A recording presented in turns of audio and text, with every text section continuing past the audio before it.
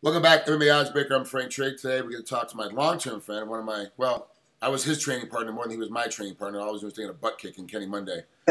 um, I had Chael Sonnen on here a little bit ago. He was one of the commentators yeah. for Battlegrounds. Yeah. And we spent 35 minutes talking about the World Championships for wrestling. Really? We wow. it's it's we're still both really involved in it. We still watch as much as we can. We go to Flow Wrestling and watch it. You know, we try to catch all the matches when they're around.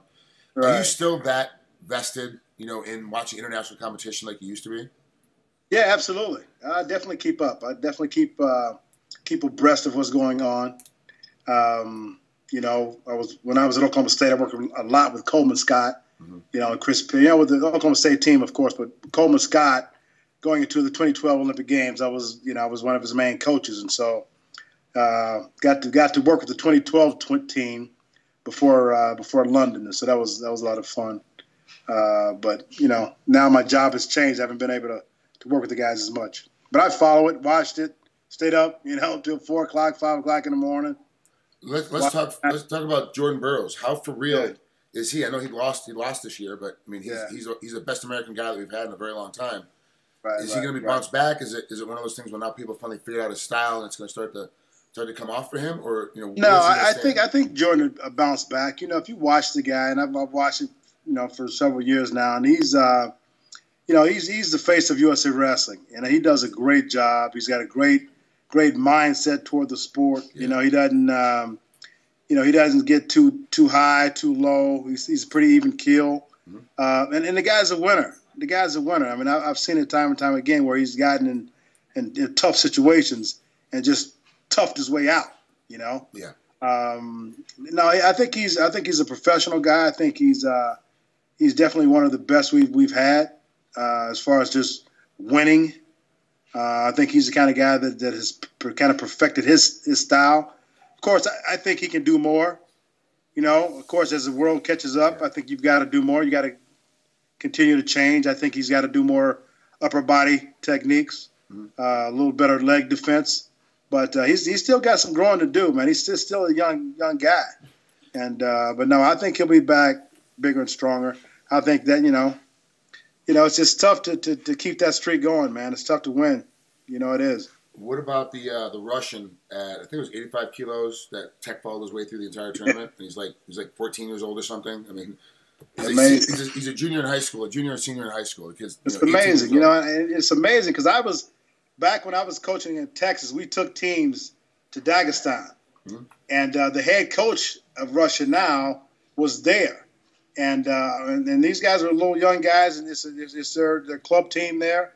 And I did a camp, I did a clinic, not a camp, but a clinic while we were there for three days.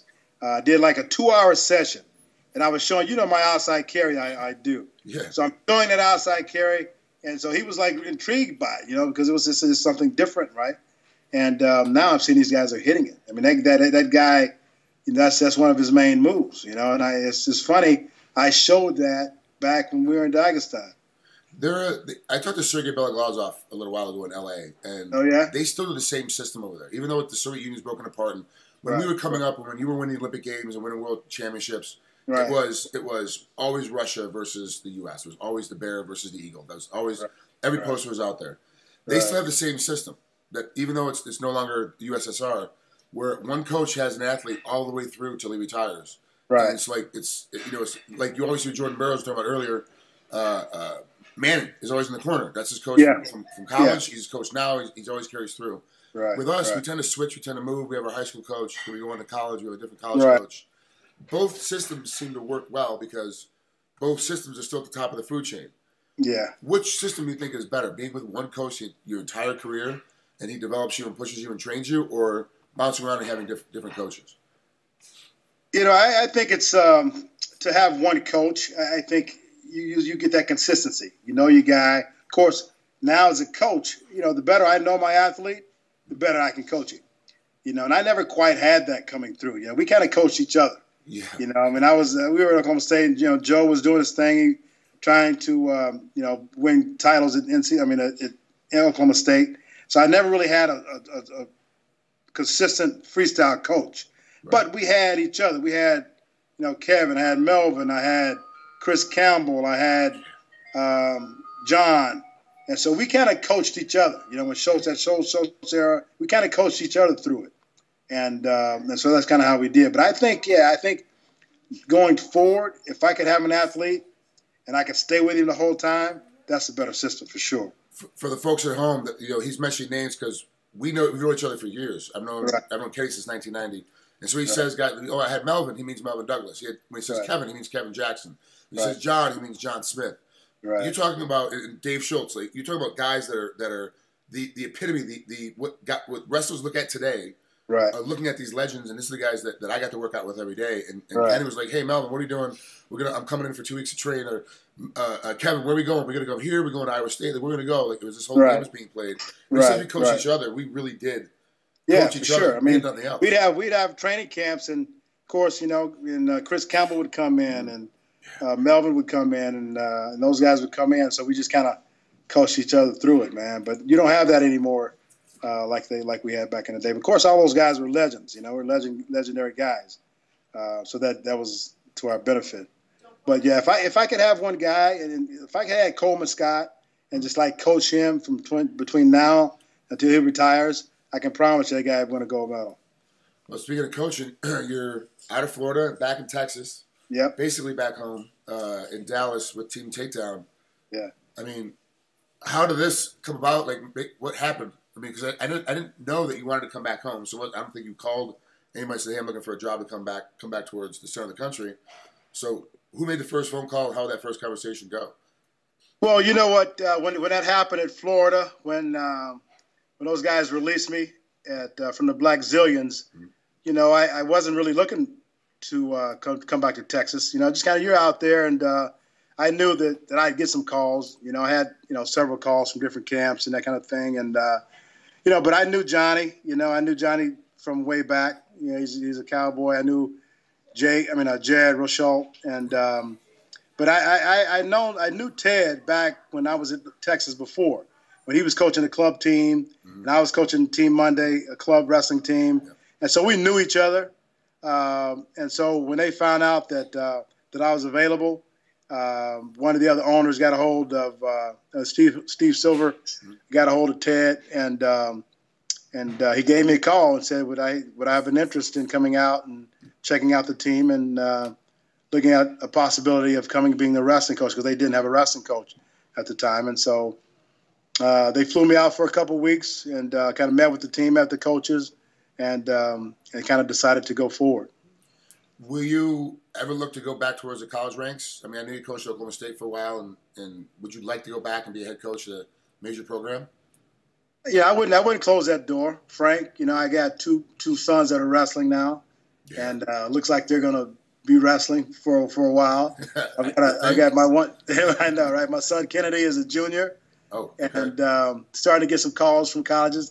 It's funny. Kevin Jackson called him the other day, you know, uh, nice. uh, about, about going to Iowa State. So, you know, it's uh, it's uh, it's coming full circle. And then I've got a uh, my youngest son Quincy is a freshman in high school, mm-hmm. and he's wrestling. And so, um, you know, I wouldn't close the door. I wouldn't close the door. I mean, I love college wrestling, of course. Um, it just kind of happened. This opportunity just kind of presented itself, and um, I think it's great for me to to get out and spread my wings a little bit. And I love I love the MMA game. I love it, you know, and um, and I always knew that I kind of come back to it. And I've, I've trained some guys, you know, and, uh, previously, uh, but I wouldn't close that door on going back to college wrestling. Talk about Battlegrounds MMA. This is your promotion. You bring yeah. back eight man tournament. It's it, at first, but kind of look as like, ah, it's just going to be some nobodies from no Anywhereville. It's going to be some small name guys, right. and all of a sudden you started getting some names started popping out of who's going to be in this tournament. Right. You know, we get like Cody McKenzie, we got Ronan Canario, uh, Jesse Taylor, Marcus Sanchez, Brock Larson, just to name a few of them. Right. These are some real name fighters. These are guys that, that have got histories of fighting and and you know really want to go back to the old school rule of, of let's see how many times we can fight tonight and try to put this thing together. Right. Right. How hard was it to make this thing actually come together and make it make it a fruition that this is actually going to happen now? You know, it's it's been um, it's been easier than we thought. You know, when we first started talking about the concept and, and doing it, you know, I wasn't I wasn't totally on board because it wasn't you know you, you didn't see it. You know, no one's doing it, and so as an upstart promotion, I'm like, man, why would we want to jump out there and take a risk uh, with with this type of format? but you know, my partner Bryant, you know, he, you know, he kept talking about it, and and I said, well, let's just uh, let's start interviewing people.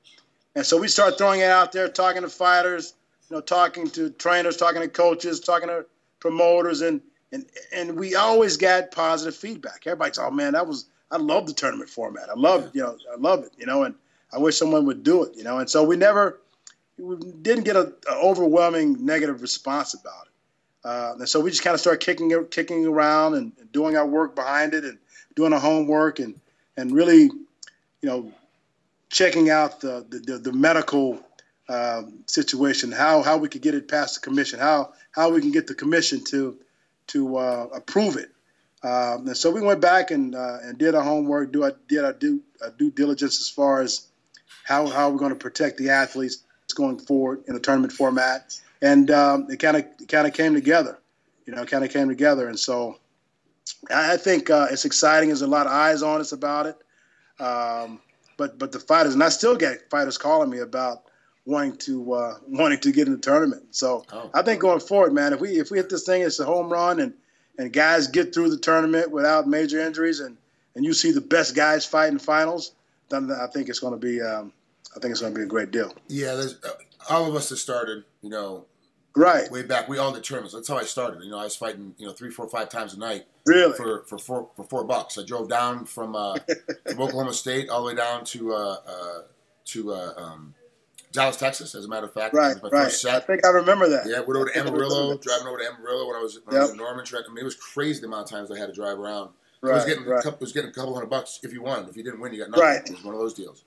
Do these guys get every round that they're in, they're getting paid something, and then of yeah. course the, the one line share goes to the champ at the end. Yep, yep, yeah. yep. You get uh, they get a they get a, a, purse, you know, two grand a fight, and then um, of course when you get to the finals, if you if you win the finals, you get the the, the remainder forty six thousand uh, wow. for the purse, which you know that that's always an incentive. You know, you put you put that that purse on the on the line. That's always an, an incentive to get fighters. I'm telling you, I've got people calling me some big names that said, "Hey, if you ever get that thing up a little little higher, I'll be interested." Yeah, that's good. So now my, my question is, say a guy wins whatever, but he's yeah. hurt or can't continue to do a cut or whatever. Do you have an alternate then that jumps in, or do you have somebody else, or do you have to bring the loser back in? Like, how's that going to happen? Yeah, yeah, the loser gets back in, but but we got alternates as well. Okay. We got alternates as well that'll step in, and if the guy can't continue.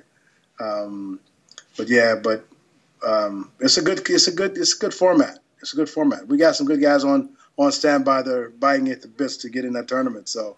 You know, uh, I don't really see a, a, downside to this, to be honest with you, because there's right. if you get these guys through without getting hurt, like you said, right. everybody's gonna want to do it again. Everyone's gonna want to try and bring this back in again. It's the basic, basic thing is fighter safety is the problem. That's right. That's is right. the guy safe? Can he keep doing it? You know, because you know, we're just we're, we do not care. Uh, my my arm is falling off, but I got to fight. It's okay. I'm gonna keep fighting. So exactly, and it's what's interesting, Frank, is, is how the, the, the tactics and the strategies yeah. that the fighters and the, and the and the trainers have got to the team's got to come up with. You know, are they going to hold back? You know, are they going to kind of try to pace themselves through the through the early rounds just to try to you know avoid getting injured, or, or are they going to go all out? You know, to try to try to get to that next round. You know, so it's interesting it's interesting to see how how these guys will strategically try to try to get these early rounds through. You know, but again, it's all about the fighters. You know, it's all about trying to take care of the fighters and giving these guys an opportunity to build their names, build their brands. You know, so after the first, you know, the rounds, you know, we, are going to be we're going to be on them. We're going to be hydrating them. We're going to make sure that those guys are piecing them back together so we can yeah. put them back in the cage. You know, so uh, but we, we really have done our homework as far as trying to take care of these guys and make sure they're safe uh, before they go back out. You know, we're not going to take any chances on um, getting these guys injured. How much time in between fights for these guys? Thirty minutes. Oh, okay. Oh, so it's just it's a wrestling match with punches. Yeah. I mean, 30, 30 minutes, man. You put together a wrestling tournament. Exactly, and yeah, we're we're turn, we're a country of tournaments. You know, yeah. we are.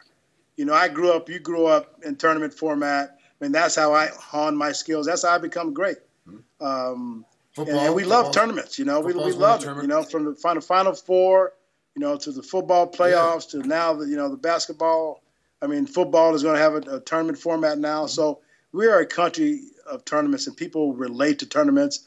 You know how they can get behind a guy, and that's going to be interesting as well to see how the fans get behind a certain certain yeah. fighter and stay with him. You know, stay with him. You know, he may have a, an upset early.